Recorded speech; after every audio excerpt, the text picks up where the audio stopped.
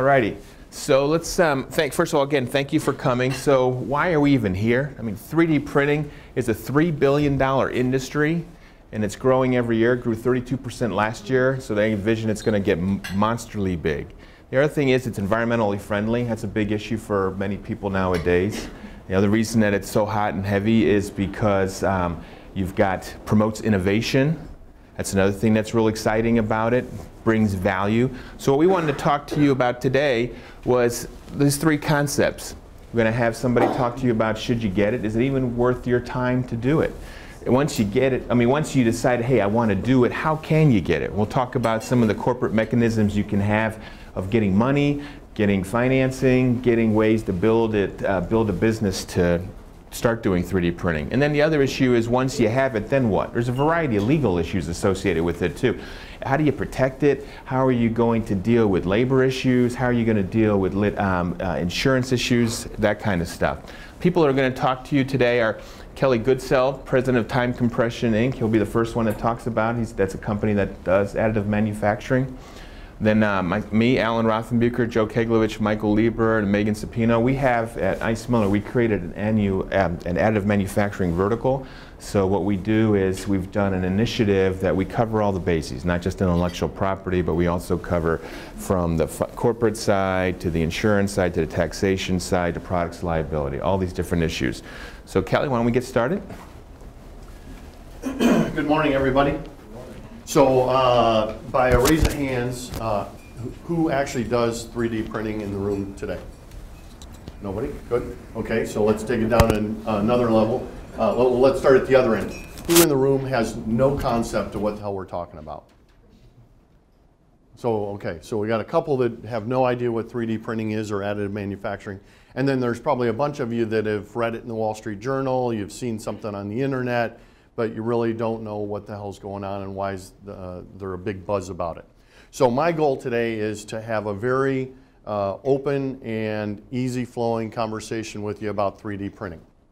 I've got uh, a PowerPoint slide up here for convenience. I don't know if you heard that word yesterday at all. Um, you know, one email address uh, by Hillary uh, for convenience. So I have a presentation for convenience. So when I run out of things to talk about or you don't have any questions, I'll flip a slide and, and you know, try to talk about something next. So uh, I am a very practical person. Uh, I'm in business to do one thing, and that is to make money. Uh, as a result of making money, I employ people and I can feed my kids and a whole bunch of other things, but ultimately I'm about making money. And so hopefully I can talk to you about why you can or can't make money in, in 3D printing. So very quickly, uh, I'll give you my uh, introduction. I'll talk to you at a very, very high level about the industry.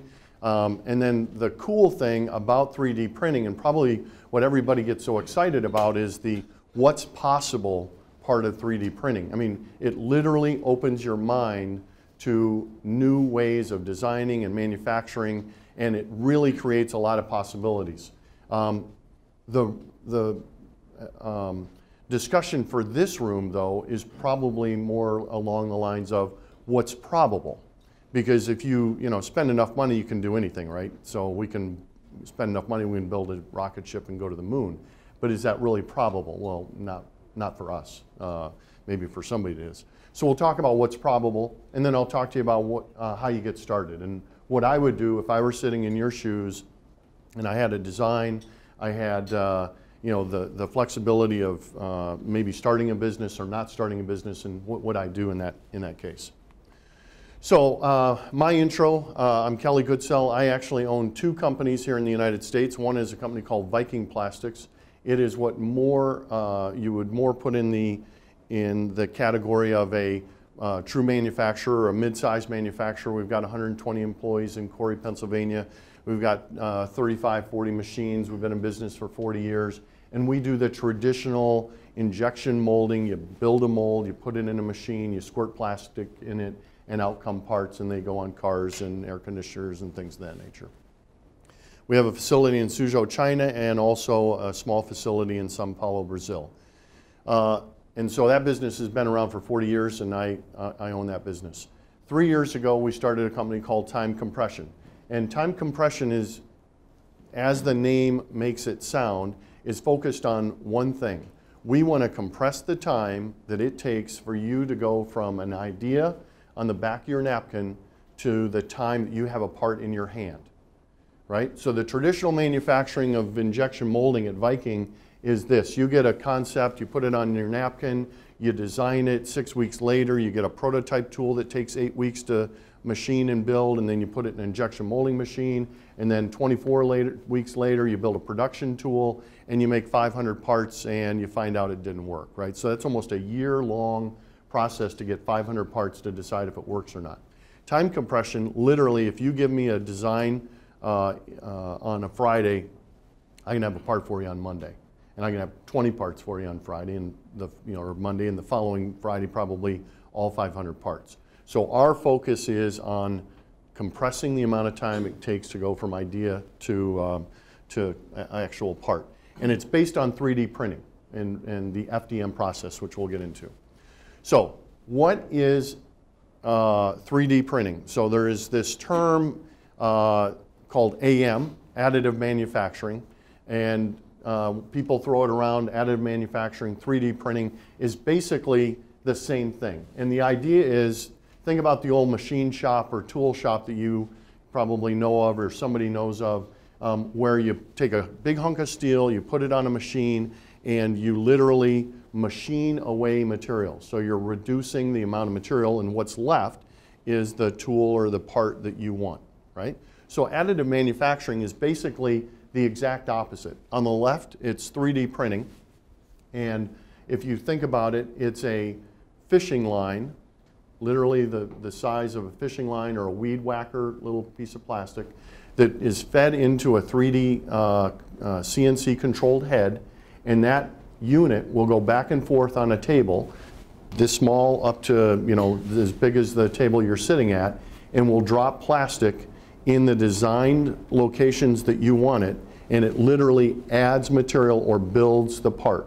And so that is 3D printing, and you can do it in 3D shapes, sizes, um, and so that's on the left. So that is fused deposition modeling, which is a process uh, kind of standardized by a company called Stratasys, who's one of the largest producers of the machine.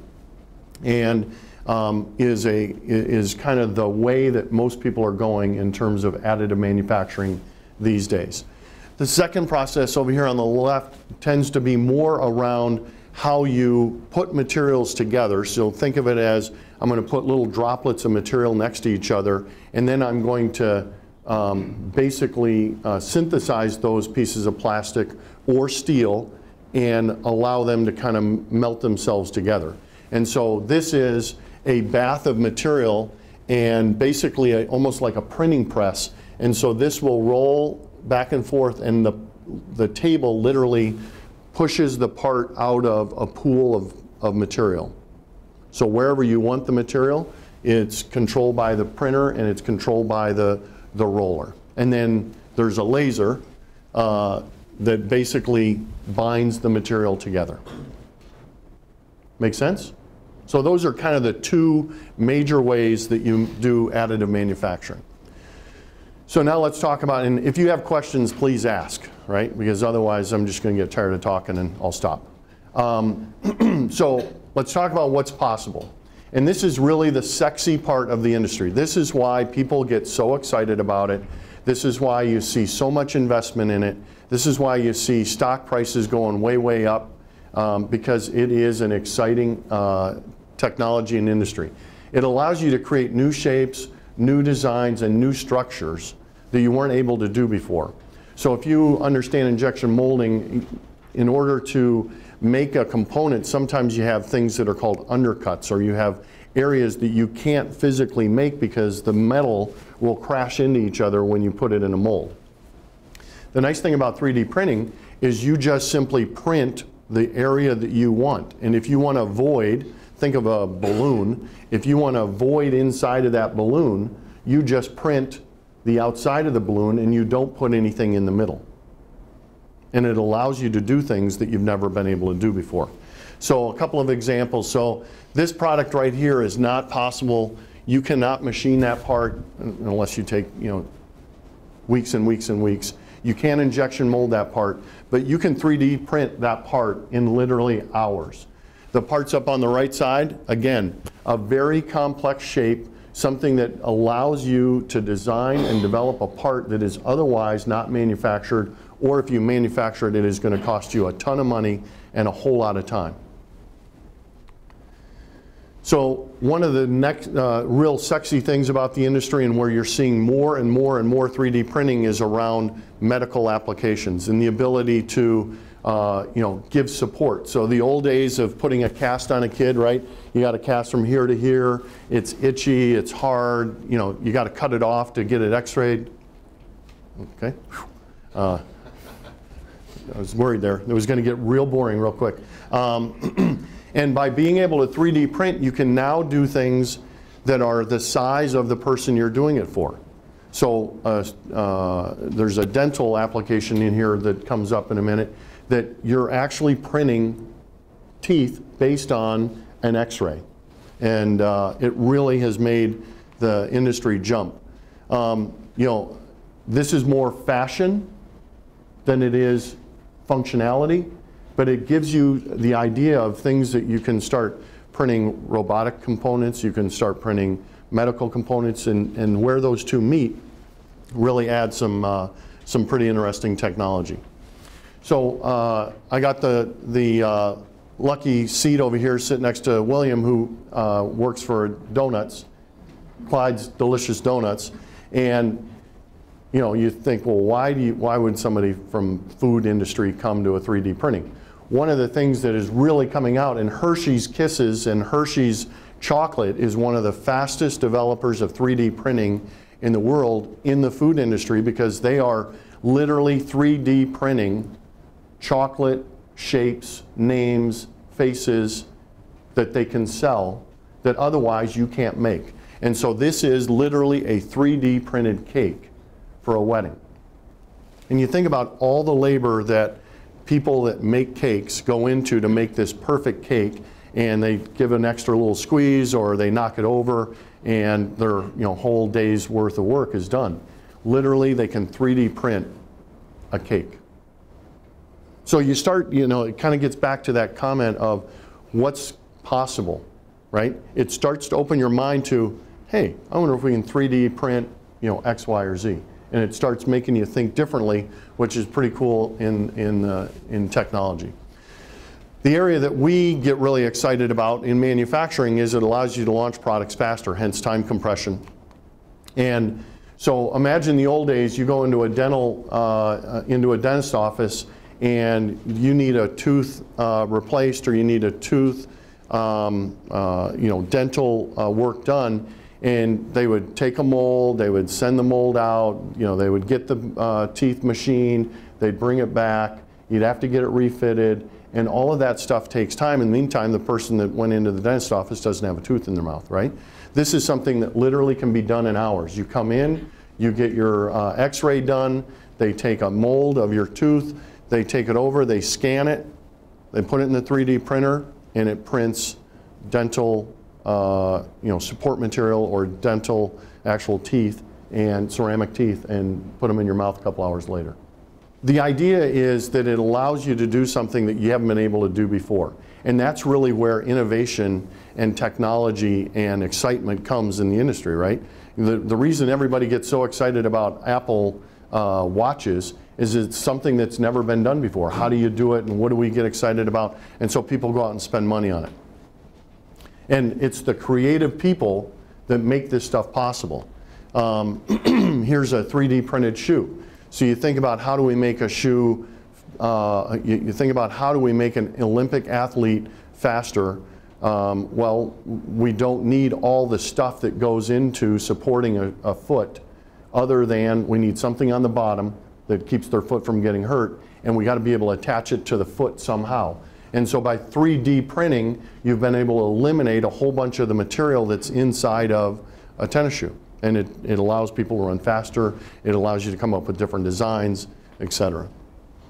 And then lastly, uh, where do you see it right now? What's possible? You see it in really high value, low volume products.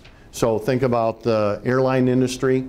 Um, you think about uh, uh, defense, and you're able to eliminate a whole bunch of cost.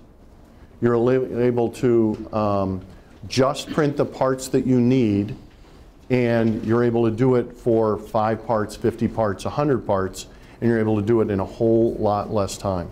And so that's really where the technology uh, comes out.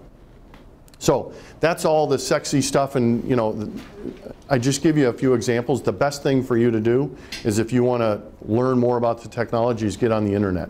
It is amazing how much information is on the internet, and you can look at those things and see kind of the what's possible. The problem with what's possible is it's not really based in reality of what we're doing as a manufacturing industry right now, right you know today. GE can do this because they have a billion dollars that they're putting towards you know 3D printing. Uh, the government can do it because they're putting a ton of money towards 3D printing.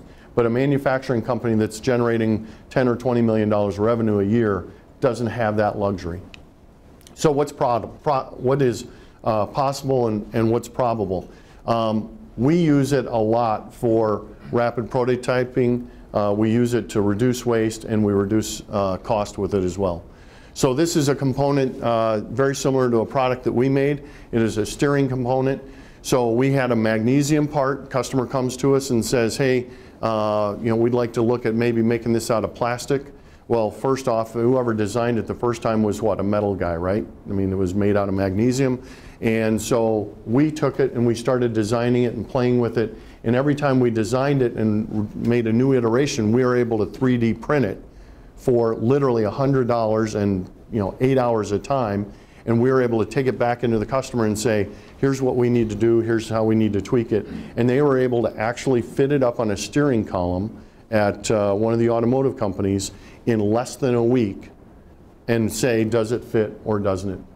And what can we do to improve it so being able to really turn those prototypes and those concepts from a napkin to a part really, really helps the process. The second is you have less waste. So literally they printed 100 parts here, uh, a, uh, a gear profile, and all you print are the parts that you need. So you don't actually, um, you know, in the injection molding process, you would need to have a runner, you would have all the steel that goes with it. Literally, you are taking the plastic in one form and you're putting it together on the table uh, in another form. And so it reduces a lot of waste and, uh, and obviously a lot of cost. Here's one of the things that are going on and why we have to watch this technology in, in terms of how other people use it. So our competitors in the world, China, for example, can take our products, put it on a table, use a scanner uh, over there on the left-hand side, scan the part into a 3D image, take that 3D image, turn it around and print it on a 3D printer, and in less than 48 hours take what has taken GM or Ford or Chrysler or Viking Plastics years to design and develop, and literally in less than 48 hours, they can have a mock-up of that product on their shelf in their office. So all of a sudden you start going, wow, that changes the game. It changes the scope of manufacturing because everything is digital. Once you have a, a uh, an image, you can print it. Once you have a print, you can convert it into a CAD file that goes to a tool maker if you're wanting to make hundreds and thousands of them. But if you're only making five or 10, it, it's a, a, a very fast process. And you know, some people have seen it in the auto shows. Uh, they've actually started printing actual cars. So they've taken all the components that they put together, they print all the individual pieces, put it together, and literally they drove a 3D printed car off the show at, uh, in Detroit earlier this year. Now, it doesn't drive down the highway yet, but you, you know, it, it's getting there. So, how would I get started if I were you? So you got this great idea, maybe you've got a manufacturing company that you're producing product today, and you know one of your engineers come to you and say, "Hey, we need to buy this 3D printer. This is a cool technology, and I got all kinds of ideas, and this thing will run all the time." Here's my suggestion for you. Number one is find a service provider, and when I say a service provider, that's somebody like Time Compression.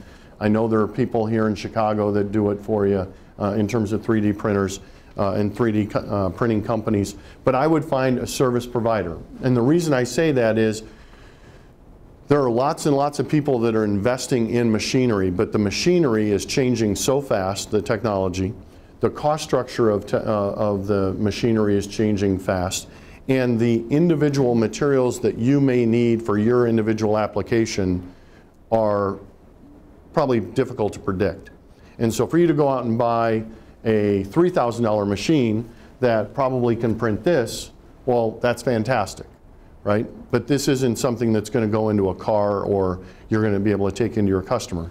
So there are different technology levels, and the way I would do it if I were you is I would go out and I would find a 3D printing company or a rapid prototyping company, and I would say, give me a quote on this CAD model. So here's a 3D file, a CAD model of a part, back of the napkin design, and we would like to have a quote. And basically, they're going to come back and they're going to tell you it's somewhere between $100 and $1,500. And that will then allow you to start experimenting with how fast can we get it, how do we use it, um, uh, a short uh, note on how we use it at Viking Plastics. We use it in two ways.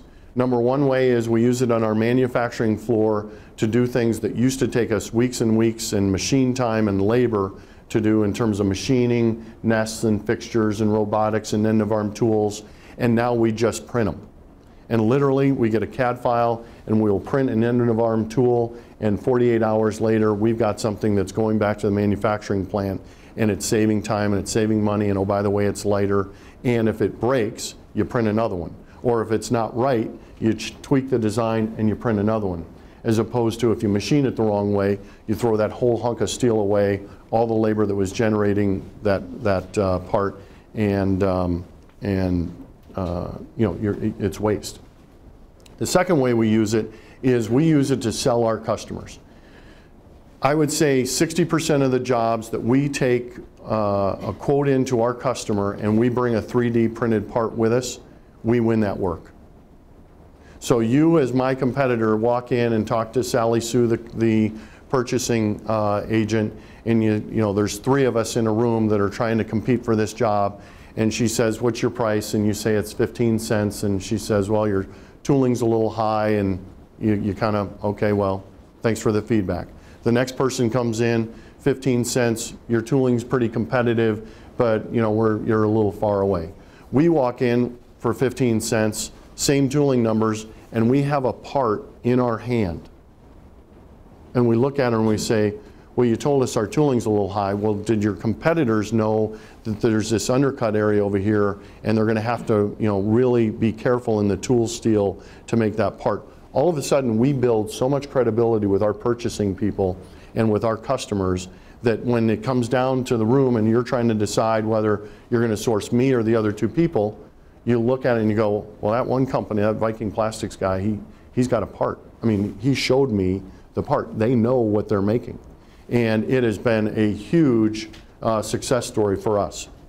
So if you're looking for how do you do that, I would go test the waters with a service provider, with somebody that is doing rapid prototyping today.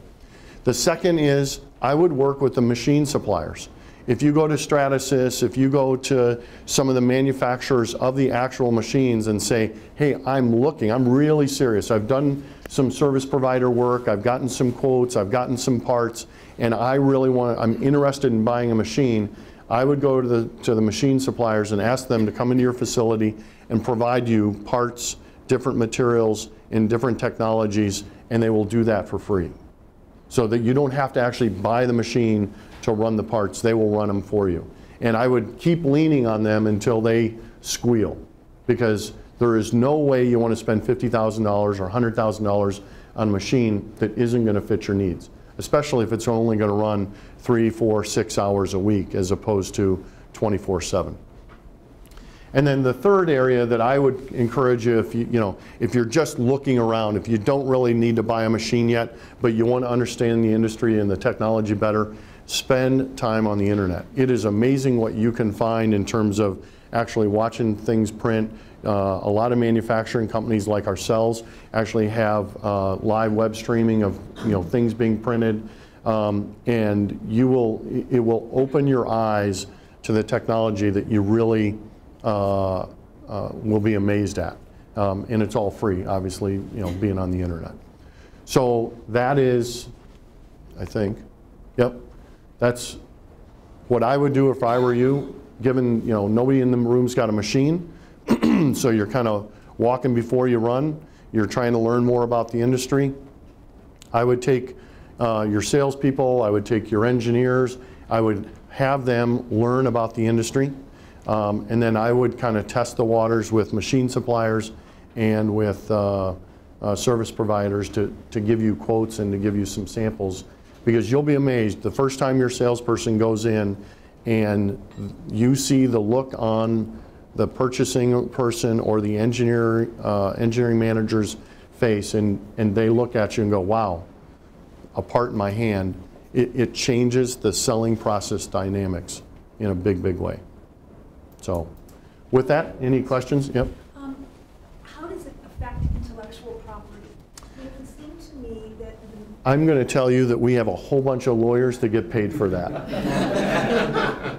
my, in, my I, I will tell you that my intellectual property, you know, that's as far as I go. I can spell it, I think, and you know. Yeah, we'll be talking about that in a little bit. Okay. Any questions for Kelly or anything? So is there a limit on the materials? Because it looked like the cast was probably some form of plastic, looked like rubber. I'm assuming that shoe had some fabric in it. Yeah, so the technology, I mentioned the technology is changing literally on a daily basis, right? The size of the machine, the cost of the machine. And the biggest area of change is materials. So right now, the biggest material, most common used material is ABS, but they also print in high temperature materials like Ultem, which is a PEI material. Um, the kind of engineering grades of acetal and nylon and polypropylene and glass reinforced materials are not common yet. And so those are things that are in development. Uh, there are a number of rubbery, uh, you know, kind of thermoplastic elastomer-like materials um, that are being used. And so um, material is a big, a big area that, that's being developed. And there's only like about 160 materials you can use right now. And so the big play, we were talking about this before, is do you want to get into the equipment or rather would you go into the material? Because if you expand upon that, that's probably where the biggest profit's going to be. Yeah. And that goes back to, do you buy a machine that has the capability of making five or six materials when if you're a big manufacturing company, you may need a soft material, you may need a hard material, you may need high temperature, low temperature, and you know, do you get all that off of one machine or do you just go get it from a service provider? They've been doing metals too. I mean, that's the big thing NASA's doing. I mean, you heard probably about the 3D printer they put up there, so they don't have to send uh, you know, replacement parts up there anymore for that. There are a couple of trade shows that I would mention. One is NPE, which is the uh, Plastics Exposition Show that's going on later this month down in Orlando. Has got a whole section devoted to 3D printing this year. And then uh, there's a show uh, called Rapid, R-A- R-A-P-I-D, uh, that is in late May. Last year was in Detroit. I'm not sure where it is this year. California is here. Is it California? Um, and that show is, uh, is all dedicated to rapid manufacturing, 3D printing, additive manufacturing, and uh, it, you know, it's, it's worth a, a walk if you're in the area. Yes, ma'am. How do the food grade machines differ from the ones that would print a tennis shoe? Well, so it, it all comes down to the uh, melting of the material going in, because you have to get it in a liquid form, and then the cooling process coming out. So for uh, machines that are running ABS or Ultem, the temperature of the control head is much hotter, you know, 500, 600, 700 degrees, where if you're melting chocolate, it's not as hot. Uh, But, you you know, the window of control is much more delicate. Covered shoe is pretty good. Yeah, yeah, yeah. All right, move on to the next one. Thank you very much.